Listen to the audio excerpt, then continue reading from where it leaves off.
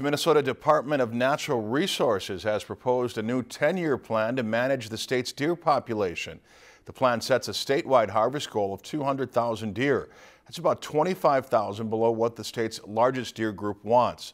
Leaders of the Minnesota Deer Hunters Association have said a harvest closer to 225,000 would provide enough opportunities for hunters while balancing landowners' interests.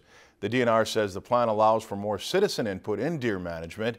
DNR Commissioner Tom Landwehr says the goal is to support hunting traditions, better engage the public, and to maintain sustainable, healthy deer populations throughout Minnesota.